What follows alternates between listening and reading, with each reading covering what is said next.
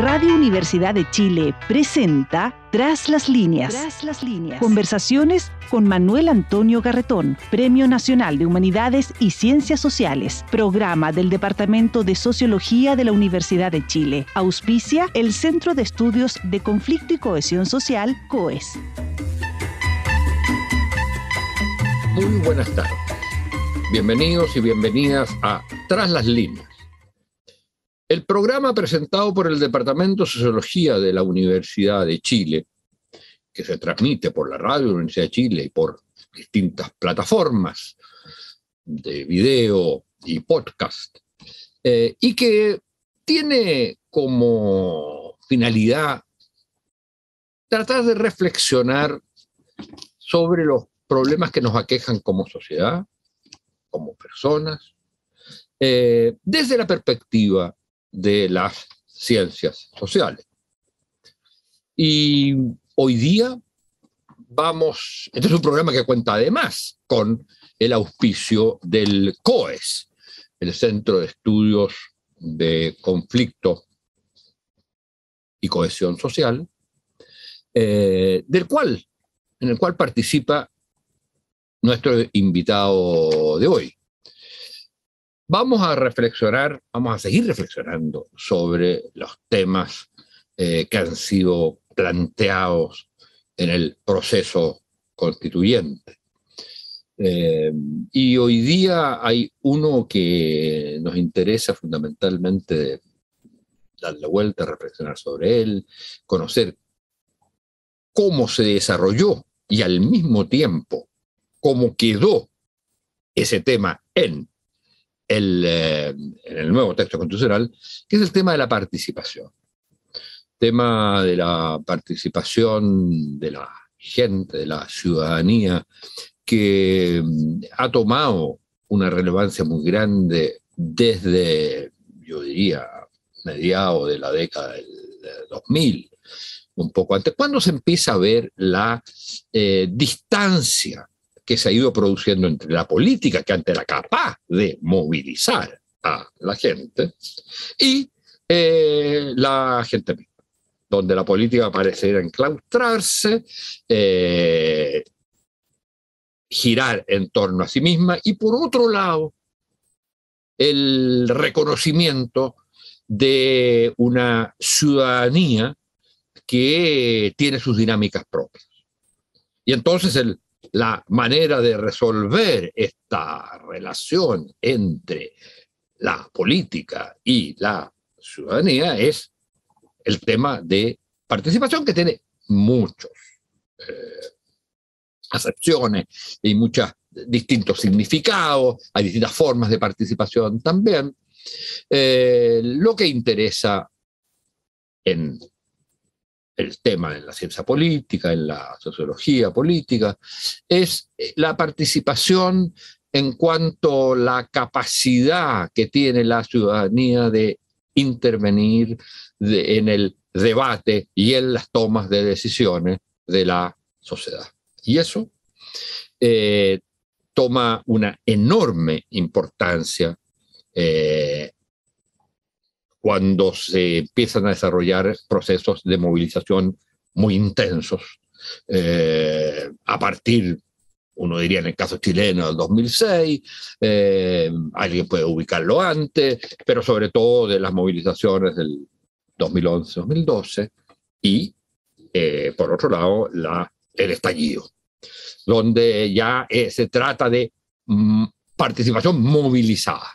Y todo el problema es cuando se inicia el proceso constituyente, es dar cuenta, por un lado, de lo que ha sido todos los procesos de movilización y por lo tanto integrarlos al proceso constituyente, pero al mismo tiempo generar un texto que permita tener eh, forma nueva de participación en la vida política de la ciudadanía.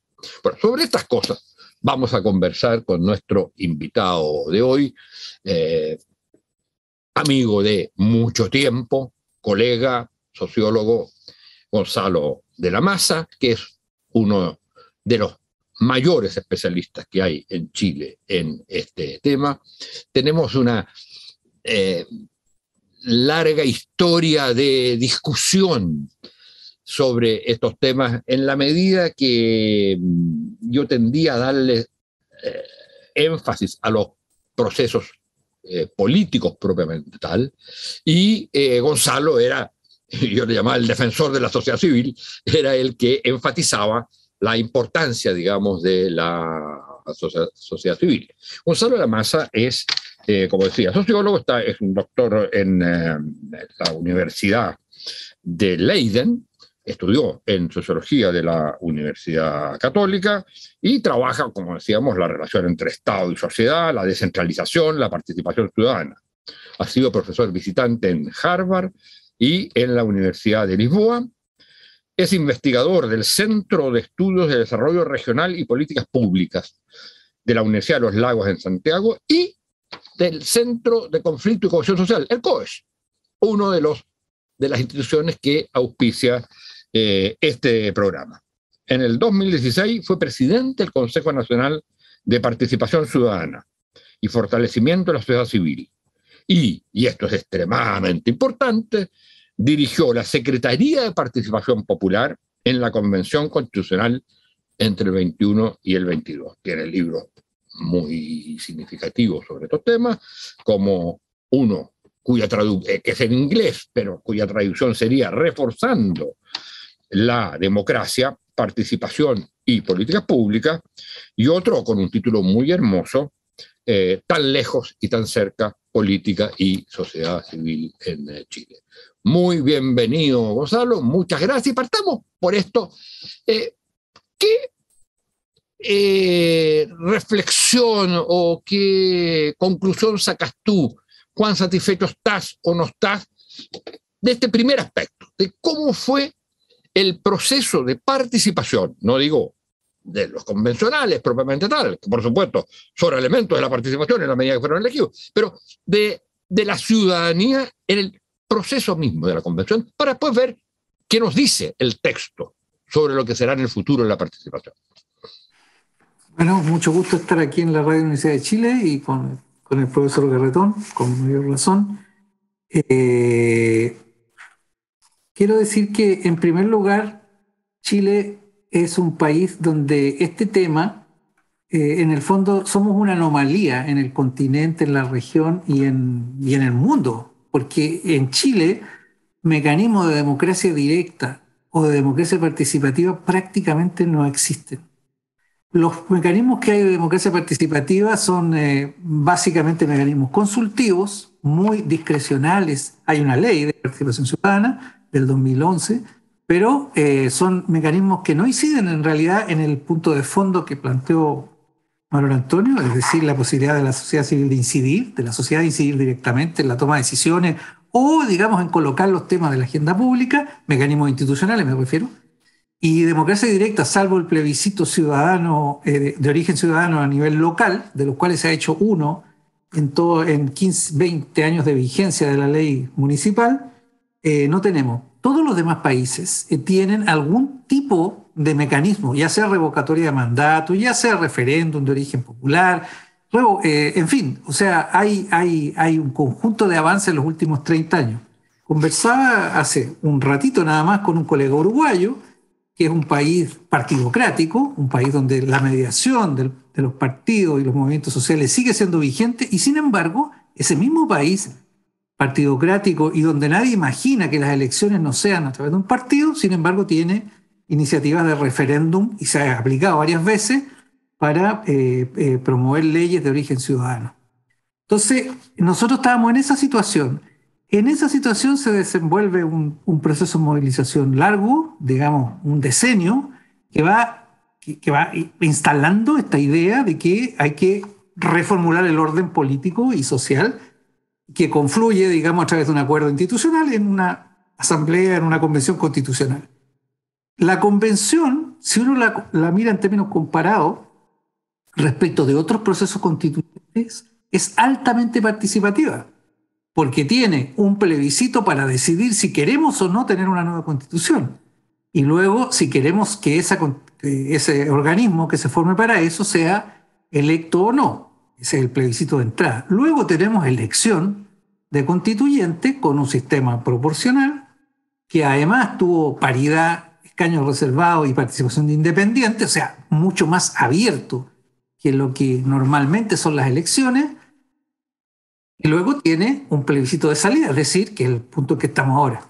Entonces, no, no necesariamente los, los, procesos constituyentes tienen esas características. Muchas veces la Asamblea promulga, por ejemplo, lo esperable hubiese sido que la convención acordara por dos tercios, piensen ustedes, y eso se promulgara. Bueno, nosotros tenemos una voz ciudadana ahí, pero no tenía previsto inicialmente un mecanismo de participación al interior del funcionamiento de la convención. Es decir, y podría haber sido, si, si nos atuviéramos a la tradición chilena, así hubiese sido. O sea, el diseño original, el que se creó el 15 de noviembre y el que luego se tramitó en el Parlamento, no contemplaba mecanismos de participación obligatorios. Sin embargo, la convención, producto de que sus integrantes eran muy pro participación y venían muchos de ellos de los movimientos sociales y en fin, se dotó de un reglamento muy ambicioso en esta materia. Y por lo tanto, produjo un proceso de participación en condiciones bastante complejas, podemos hablar un poquito más de eso,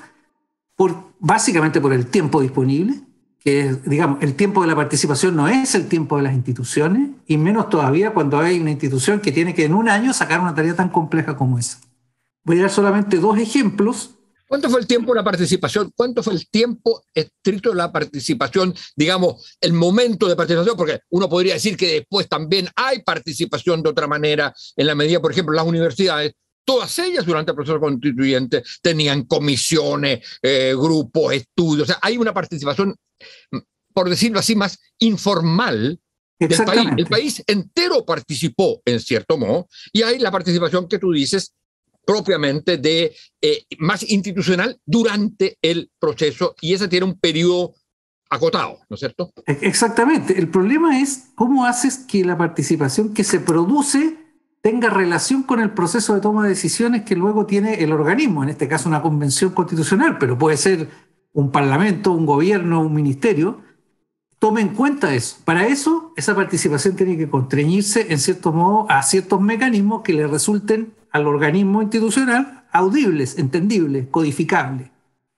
Entonces, la convención eh, ya tenía legitimidad del punto de vista del plebiscito, votó más gente que en las elecciones, o sea, tenía por lo tanto una legitimidad de origen, podría no haber hecho este ejercicio, como el Parlamento, que no tiene prácticamente mecanismos de participación que le permitan, salvo las audiencias a que invitan gente, que le permitan recibir y codificar y procesar y además trazar esa participación, es decir, poder responder después, mire, yo lo escuché a usted y a ustedes y ahora resolví tal cosa por tal razón, o sea, como el proceso y ver entonces dónde encaja.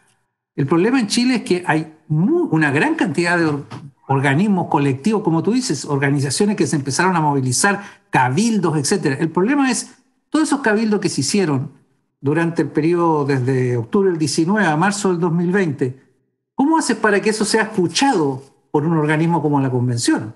Eso es lo que se llama normalmente incidencia. O sea, que esto tuvo impacto en alguna decisión.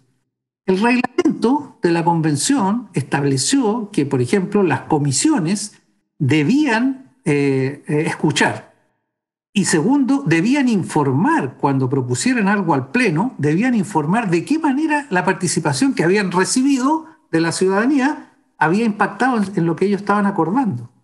Esa norma, digamos, en general las normas del reglamento eran extraordinariamente exigentes eh, y tenían un estándar muchísimo más alto de lo que nunca en Chile ha existido.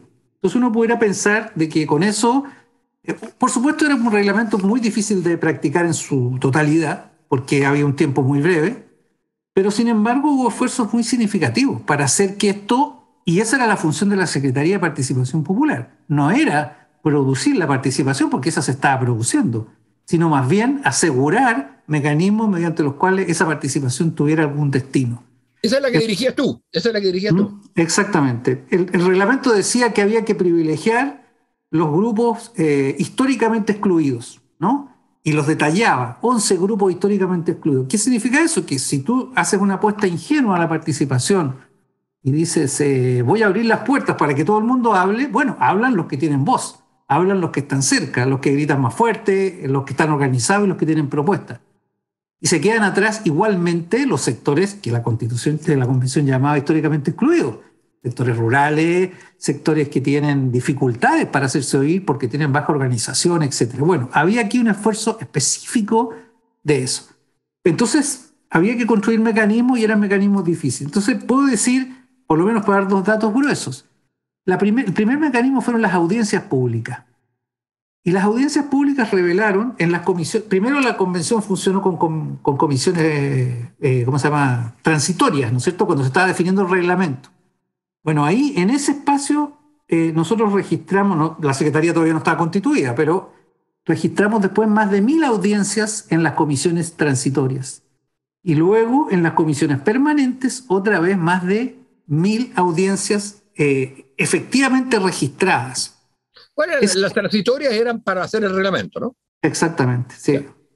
Eh, entonces, después, después eso eh, fue sistematizado por distintas, cada comisión encargó a universidades, etcétera, que sistematizaran ese material para poder utilizarlo luego en su, en su reflexión. Pero, pero, sin embargo, la demanda por ser escuchado superó, eh, pero con creces, este número de audiencias que se pudieron efectuar. Las dos comisiones que más recibieron demandas de audiencia fueron la de Medio Ambiente y la de Derechos Fundamentales. Cada una de ellas recibió más de 1.700 solicitudes de audiencia y lograron efectuar 280 en un caso y un número similar en la otra. O sea, lo que quiero, ahí se reafirma lo que tú dijiste primero. O sea, había un interés por participar enorme, pero el dispositivo era un dispositivo insuficiente. Entonces lo que hicieron fue sortear ¿no? Un mecanismo bastante básico, podría haberse hecho otro mejor, pero bueno, era un mecanismo que permitía neutralidad y el que salía sorteado era escuchado. Eh, ese es un primer mecanismo que te indica como la, cantidad de organismos y, gente que quiso ir a expresar su posición en cada una de las comisiones, que era el lugar por donde se iban a tramitar las normas. Y el segundo mecanismo que, que fue innovación en Chile fue la iniciativa popular de norma que era la idea de que no solamente los convencionales podían presentar iniciativas para hacer norma constitucional, sino también la ciudadanía. Eso existe en el campo legislativo en muchos países, la iniciativa ciudadana de ley. Bueno, en Chile han habido por lo menos cinco proyectos que yo recuerde para instalar ese mecanismo. Nunca se ha logrado, y algunos transversales, ¿eh? o sea, algunos presentados por parlamentarios de derecha, izquierda, centro, y sin embargo no han sido aprobados. Es decir, por eso, por eso partí de lo que dije, o sea que estábamos en una situación en la cual un mecanismo muy normal no se ponía en práctica. Bueno, aquí se puso en práctica y en ese proceso fueron 2.496 las iniciativas que fueron validadas, hubo que hacer un proceso para validar, digamos, crear una plataforma para que la gente pudiera hacerlo, luego ver qué requisitos se ponían para que tú puedas presentar una iniciativa, bueno, de qué se trata, cuál es el nombre, quién la presenta, etcétera y luego un mecanismo para recolectar firmas, para que la gente apoye. El, reglamento decía que cualquier eh, iniciativa popular que alcanzara 15.000 firmas podía, iba a ser considerada como una iniciativa, igual que si fuese presentada por, creo que eran 8 o 10 convencionales los que tenían que presentar una iniciativa. Bueno, 77 eh, iniciativas lograron esa meta, más una que tenía reglas especiales, que fue de una iniciativa del pueblo chileno afrodescendiente. Eran 78 iniciativas las que ingresaron por esa vía. Gonzalo, tenemos que ir eh, para poder tocar los otros temas. Pero de esas 70, por ejemplo, de esas, para tocar el tema que tú planteas en uno en el último trabajo que te leí, que me parecía muy interesante porque es una síntesis de todo esto, eh, el principio de incidencia. ¿Cuántas de estas 67 pasaron o se convirtieron de alguna manera en norma. Lo, primero que hay que decir es que apoyó, apoyaron esas iniciativas 980 mil personas. Es decir, no ha habido en Chile otro proceso de este tipo que tenga esa masividad. El proceso de participación de los cabildos de Bachelet fueron 214 mil personas. estamos hablando aquí cinco veces en dos meses, porque ese fue el tiempo. Por eso el tiempo es importante. Bueno, de esas, nuestro trabajo indica que 26, eh, si mal no recuerdo, fueron, que se encuentran completamente en el texto. O sea, estamos hablando ahí de un porcentaje importante que pasó todos los los pasos, digamos. Y por el otro lado, seis de esas 78, no, uno no encuentra nada en el texto. O sea, que fueron completamente desechadas. Por ejemplo, una que se llamaba Cárcel para Piñera, ¿no? Y otra que se llamaba No más tarde, Autopistas Libres o algo así. Cosas que realmente uno dice, bueno, eh, Cannabis ahora también. tuvo muchas firmas. La segunda con más firmas fue Cannabis ahora. Bueno, no fue. En el en entremedio. Pero, pero, ahí hay, hay, una cosa que es clave, yo creo señalarla. Sin embargo, el que quería poner cannabis ahora pudo hacerlo. O sea, lo, que, lo, lo, lo, interesante es que prácticamente llegaron todas las demandas que habían para que se transformara en ley. Ahora, obviamente, no todas las demandas pueden, tienen que ser aprobadas, pero lo importante es que tuvieron la oportunidad de llegar. Tuvieron la oportunidad de llegar, de, de suscitar apoyo y luego llegar. O sea, de venir respaldada. O sea, estoy hablando que iniciativas tuvieron 50 mil firmas, 40 mil firmas, etcétera. Bueno, todas las que pasaban 15 mil entraban entre medio, entre estas 27 que fueron eh, que fueron, que, que, fueron completamente aprobadas y, las seis que no, hay, no sé, no me recuerdo los números, pero 50 que, que uno reconoce aspectos claros de esa iniciativa. Una iniciativa que, que, ha sido, que la que sacó más firma, que se llamaba Con mi plata no, que tenía que ver con el tema de los fondos de pensión, y que ellos dijeron, bueno, es que no nos hicieron caso. La verdad es que no es así. El texto indica que hay aspectos de esa iniciativa que sí están recogidos. Lo que pasa es que entre medio hay un proceso, que es el proceso de los constituyentes. Tú para lograr que una iniciativa se transforme en una norma constitucional necesitas dos tercios de los convencionales, es decir, una cantidad de millones de votos bien significativa. Entonces una iniciativa popular de 60.000 firmas es importante, es considerada y muchas de ellas están consideradas en sus principios y en aspectos parciales. Por lo tanto, me parece que hay una enorme, hay dos lecciones, que la gente participó muy rápido y muy eficientemente en un proceso nuevo que nunca se había hecho y segundo, que fue ampliamente considerado. Ahora, cuando uno piensa, eh, y yo creo que el, el, balance de esa primera parte, yo insisto en el aspecto que además de, de las normas que llegaban y todo el proceso institucionalizado, hubo un país entero discutiendo el tema constitucional no hay universidad que no haya creado centros o grupos para hacer eso, programas de radio, programas de televisión, etc. Todo eso yo creo que también es importante considerar. La segunda... Por supuesto. Ah, pero lo que quisiera ahora, mm, es, que era el segundo tema que me interesaba, bueno, de todo esto, el texto que se propone, ¿qué, cosa, ¿qué es lo nuevo, lo innovador que introduce en materia de participación popular para el futuro. El texto mismo. El texto, eh, en primer lugar, establece, digamos, esta es la constitución de los derechos. Desde mi punto de vista, ese es, el, ese es el corazón más robusto y es además lo que concentró la participación ciudadana. Es decir, lo primero que hay que decir es que el texto refleja lo que las personas de manera tanto a través de las iniciativas como a través de los cabildos. Nosotros sistematizamos 16.400 cabildos hechos desde el 2019 hasta ahora. Esos están la mitad, igual que las iniciativas populares, concentradas en el ámbito de los derechos. Y, y un porcentaje de alrededor de 15-18% en medio ambiente sustentabilidad. Esos son los, como dijo ayer en un foro que organizamos, los dolores que se expresaron en la movilización. Eso, en primer lugar, está expresado en la nueva constitución. Desde el punto de vista procedimental, de qué, qué participación incluye, incluye por primera vez mecanismos de democracia directa eh, o semidirecta. El mecanismo de democracia directa es el, más importante que está ahí, es la iniciativa derogatoria de ley. Es decir, la posibilidad que la ciudadanía se organice para recolectar firmas y proponer un plebiscito en el cual se dirima una ley que se considera que no debía existir. Es decir, el Parlamento aprueba su norma, entonces ahí no interviene la ciudadanía necesariamente, pero luego puede decir, luego de un tiempo, etcétera, Y para eso tiene que juntar una cantidad importante de firmas, eso la habilita no para decidir, porque 5% no tendría por qué decidir sobre una, sobre una ley, pero sí para hacer un referéndum que permita que la ciudadanía decida si esa ley se mantiene o no. Pero es, iniciativa, no, no, no es iniciativa de ley, es iniciativa de, para derogar. Derogar. En el caso de la iniciativa popular de ley, similar a la iniciativa popular de norma, se adoptó el mismo procedimiento que en la convención, es decir, que yo lo califico como democracia semidirecta.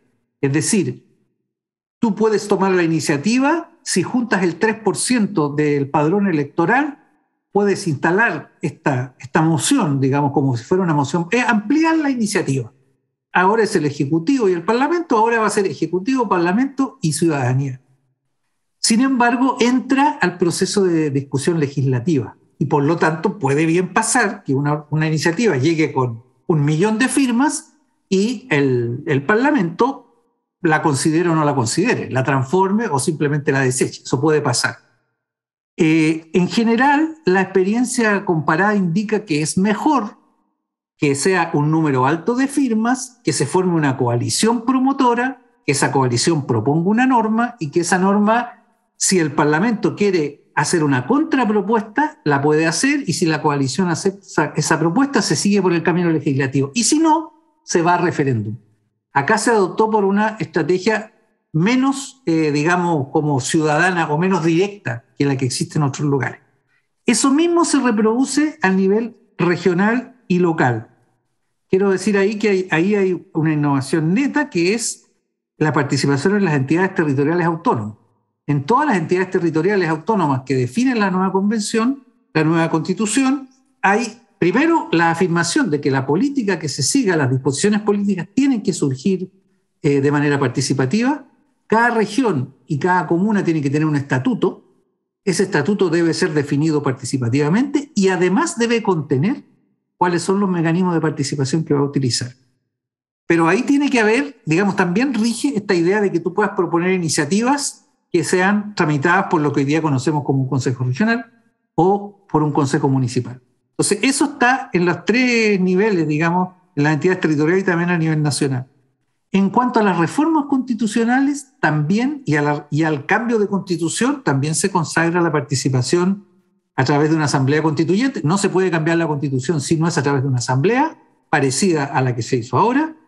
Y, no se puede, y también hay iniciativa ciudadana para reformar la constitución que tiene que tener una serie de requisitos. No recuerdo Cuando decimos cambiar, decimos nueva. Eh, eso tiene que ser una asamblea constituyente. No puede ser. pero, sí, pero sí puede reformar, pero sí puede reformar. Y la iniciativa de reforma también puede surgir de la ciudadanía. Aquí hay un punto que es bien importante y es que eh, las, eh, digamos, cuando se habla de democracia directa, sobre todo de referéndum, normalmente se mete en el mismo saco aquellos referéndum y plebiscitos que son llamados por los presidentes, por los ejecutivos, con aquellos que son de iniciativa ciudadana. Lo que importan acá no es tanto la consulta directa al pueblo, que normalmente se hace, digamos, con mecanismos no, no necesariamente muy, muy, muy como transparentes, etcétera, se hacen para legitimar decisiones. Los que verdaderamente importan son aquellos en los cuales la ciudadanía sí puede tomar iniciativa, hacer una campaña, eh, transformar algo en una propuesta y esa propuesta llevarla a votación. Eso permitiría, el resto se deja a la ley. En este caso, el resto de la determinación del número, de todas estas cosas se aprueban por mayoría, así que eso no, no es una discusión, pero en qué momento se pueden hacer los plebiscitos, etcétera, eso se deja a la regulación de la ley. Por ejemplo, ahora no se puede en el campo, en el campo municipal hacer un plebiscito, aunque se junten las firmas, seis meses antes de una elección o tres meses después, porque se estima que puede haber como manipulación de la autoridad. Bueno, una alternativa que estaba propuesta de antes sería que se puedan, en el día de las elecciones, se puedan realizar los plebiscitos. O sea, simplificar el costo y alimentar las dos cosas. Por eso puse el ejemplo de Uruguay. O sea, también. ¿tú, sabes que es el caso, ¿Tú sabes que es el caso de Estados Unidos? Eh, a mí me tocó una vez hacer una observa, observación de elecciones en Estados Unidos y junto con el voto por el presidente se votaba por el consejo de escuela y se votaban tres o cuatro propuestas en el county eh, respecto de, eh, digamos, eh, cambios en la gestión. Cosas que interesan en ese, en ese lugar, exactamente. O sea, sería lo lógico, porque eso, ¿qué permitiría? Permitiría que los, los que van a la elección se pronuncien sobre los temas que le importan a la ciudadanía y al mismo tiempo redoblas la motivación por ir a votar. Oye, Gonzalo, tenemos, estamos eh, ya en el término del programa, desgraciadamente. Yo quería hacerte una pregunta eh, para cerrar esto, que es como de balance prospectivo. Eh, lo que tú describes y lo que está ahí, tanto lo que pasó como lo que está en el texto, es claramente una transformación muy profunda de las relaciones entre políticos. Ya cambiaron, ya cambió esa relación. Ahora, ¿qué pasa si ganara el rechazo? Eh, esta, posibilidad ¿Es un retroceso, digamos? Absolutamente. ¿Queda en cero todo o tú crees que ya quedaron ciertas cuestiones de las cuales, independientemente que ganara el rechazo, no van a poder no considerarse en el futuro. Eso, el problema es el siguiente, el problema es que el ciclo de movilización y de participación que ha dado origen a estas cosas, es decir, la presencia, estas cosas se vienen discutiendo hace mucho tiempo. Hay propuestas de muy larga data y hay experiencias en América Latina, no es algo nuevo. Aquí en Chile se abrió la posibilidad de hacer lo mínimo eh, con, un estallido social que, podría haberse resuelto de, mejor manera o por lo menos haber tenido antes alguna forma de canalización. Por lo tanto, mi, punto es que, por ejemplo, la iniciativa popular de, ley, yo creo que va ahora sí va a entrar de todas maneras, porque en el caso de la, de la convención, los sectores que eran opuestos a esto, que siempre se han opuesto a que la gente participe porque lo consideran populismo, también utilizaron el mecanismo y lo vieron como una vía y el sector empresarial organizó, presentó seis iniciativas. O sea, hoy día el comando del rechazo está presidido por, justamente por una persona que dirigió una de esas iniciativas. O sea, entonces creo que eso, eso puede ocurrir. Sin embargo, el problema es que hasta ahora la constitución del 80 y, el, y, el, y, el, y la forma de pensar de la ley política chilena ha detenido eso. Y por lo tanto, si se, si se, se, estima que esta, que esta constitución no es pertinente y a pesar de esta participación resulta minoritaria en su apoyo, va a haber un, un trancón, digamos, a este problema. Las cosas están planteadas, ocurren en otros lugares, es la demanda ciudadana hace tiempo. En los 90 no había esta demanda, pero ya hace por lo menos 10, 15 años que estas demandas están también en la calle, no solo por las metas sustantivas, sino también por procedimientos de mayor democratización y participación.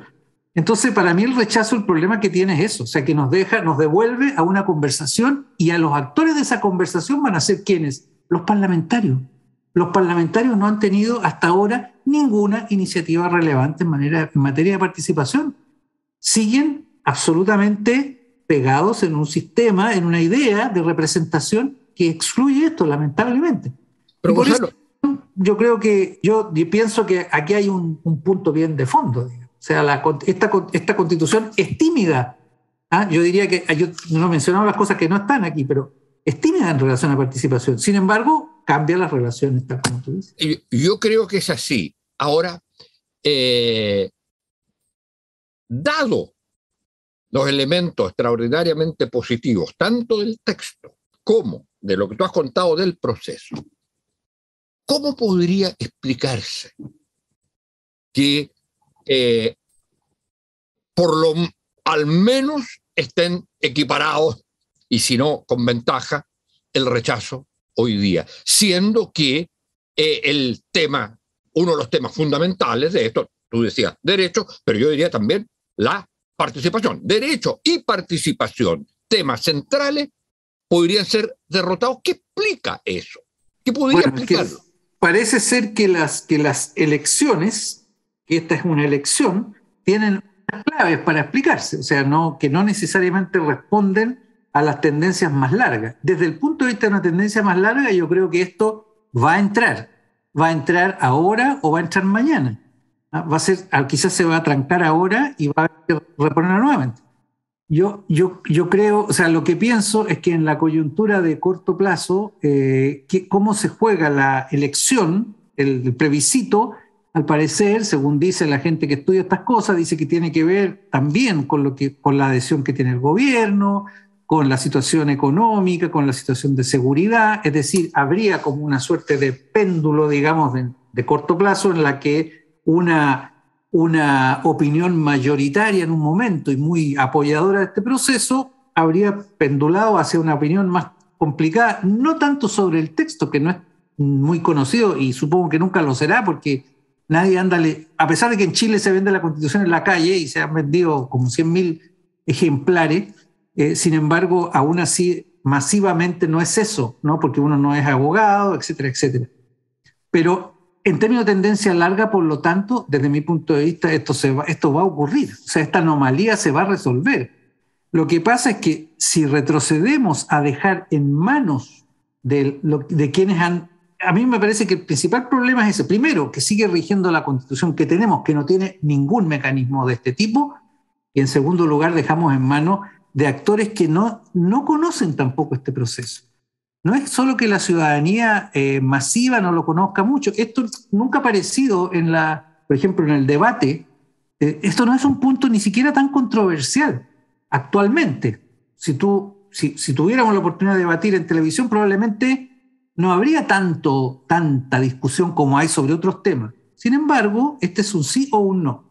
Es nos quedamos con lo que tenemos y empezamos a conversar de nuevo o empezamos a trabajar a partir de este texto. A mí, desde el punto de vista que me tocó trabajar y que conozco, me parece que si esto se, se, conoce, se, se, conoce que esto es así, eso causa adhesión. O sea, aquí no hay ningún elemento que la, al contrario, las personas decían, bueno, pero en realidad el problema es que la iniciativa tuvo tantos votos y no me la escucharon.